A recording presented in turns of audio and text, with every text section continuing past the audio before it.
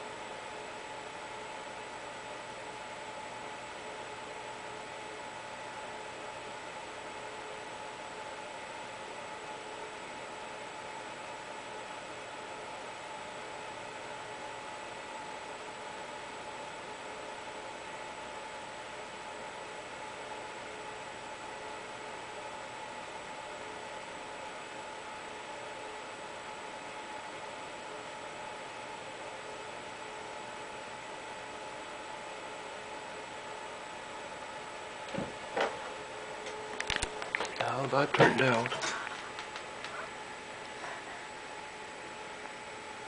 A little bit darker here, that's okay.